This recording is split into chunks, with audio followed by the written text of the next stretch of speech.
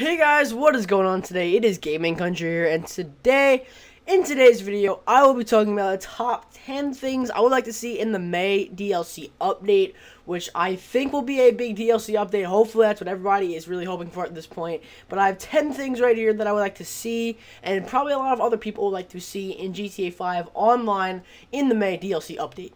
So I'm going to start out with the things that probably won't happen, but they don't count towards the list. But they probably won't happen, but they're still pretty cool if they did. So I know some people um, on the GTA 5 Reddit have been asking for like lowriders for uh, story mode, and even though not many people play story mode. I do think that would be pretty cool. Um, every once in a while, I do go into story mode, do some of the missions, do some of that stuff, or just free mode around. And I think it would be really cool to have some lowriders in story mode because everybody is rich in story mode from that Jeweler story. So that would be a really cool thing. Here's what I also found on the GTA 5 Reddit, which um, I thought was pretty cool, but I know will probably never happen in GTA 5 Online, and that's driving um, your yachts on your own. I really don't get how that would really work out too well. I think some people would kind of not really be good too good at that. Um, I think it would be a long ass drive as well if you want to go from like the uh, center of the uh, ocean to like Fort Zancudo where you can park your yacht there. Um, that was just the, my thoughts on that. Um, that would be pretty cool. But I do think it would be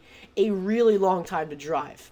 And this is one I know that everybody pretty much kind of wants to see in the May DLC. Uh, it's country style houses in Blaine County. Uh, I really just want to see some country style houses. You know, have a farm, maybe something like cool like that. These are stuff that I probably I know that probably won't happen, but I'm just trying to tell myself that it will. But it would be pretty cool. I maybe in a later DLC that would happen. But for the last one that's on the possible, which probably won't happen list, um, it's a drag race strip, and I honestly think this is a pretty cool idea.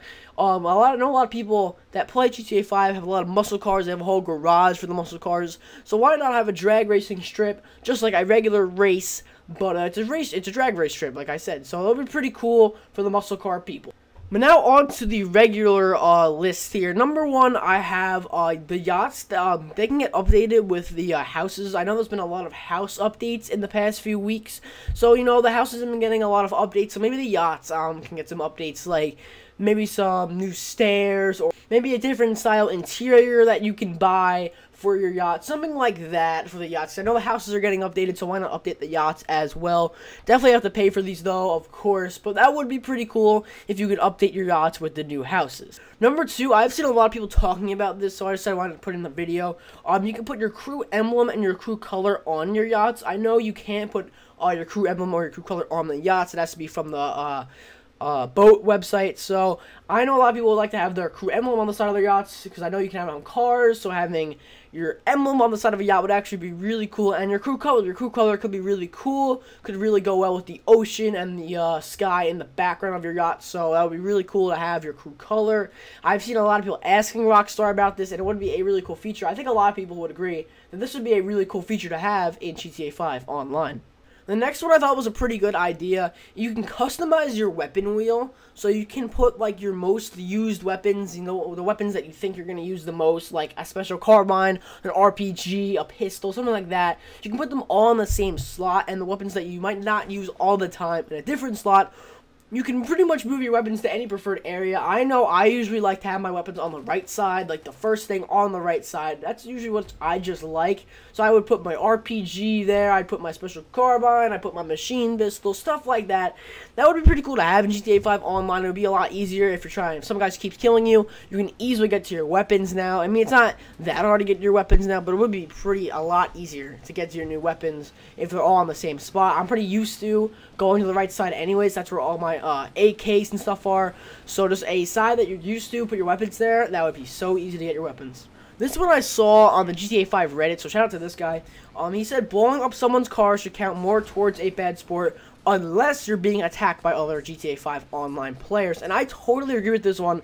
I know sometimes I blow up people's cars because they're attacking me in their car or they're just keep shooting me, they keep killing me, and then I get called for a bad sport, I still have to pay for it. But if this guy in the car is attacking you, he keeps shooting you, Why can't you explode his car because he's pissing you off? Why can't you piss him off and not have to pay anything and not be uh, counted towards a bad sport whatsoever?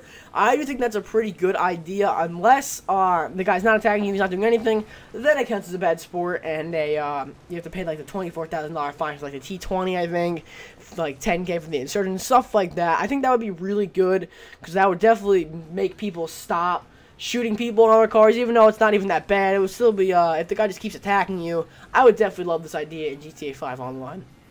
At number 5 here, I put that you can get Pegasus vehicles delivered to your yacht. So, like, I know it's a free helipad on the, uh, the most, the second and third yacht, the two expensive ones, and it's not used, nothing It's something only spawns on the first one, so why can't you call in your Pegasus helicopter or something like that, that you can put on there on that second helipad, so you don't have to go all the way back to the city and then drive all the way back to your yacht. I think it's kind of in, an inconvenience. And I know that you can have a lot of boats next to your yacht, like docked there. So why can't you call in your Pegasus boat? I know I would love that because I know I'm getting a yacht in probably the next month. I'm pretty hyped. But um, definitely like calling in a boat like if there's an empty spot someone just destroyed that boat that was there you can call in your pegasus boat which is probably better than the boat that's there it's probably like a jetmax or something that you can call in from pegasus i know it's the boat i have that would be a really convenient thing so hopefully when i get my yacht that will be a feature this is one that I have been struggling with the past few days. I'm doing a money-making method in Blaine County, and it's really annoying when the mechanic, like, you're too close to your personal vehicle, so you can't call another one. I honestly think the mechanic can just easily bring personal vehicle that you're right next to back to your garage and deliver your other car. I think that would be so much easier. I know the mechanic sometimes doesn't answer because uh, you called it in too much. I totally get that but not um, being able to get your vehicle delivered because your other one's right next to you is kind of stupid. I mean, all the mechanic has to do is just freaking push a button and it'll despawn back to your garage. I think that would be so much easier than having to drive that car all the way back to your garage. And if you're even farther away from your garage, if you're in Blaine County and your garage is in the city by your house, you don't want to drive that far. I would definitely just want to get my Zentorno, my T20, stuff like that really fast, really easy. It'd be a very convenient thing that mechanic could do. So that's another one I made up about cars and stuff. Of if someone destroys your car, it should spawn in your garage instead of instead of at Mors Mutual.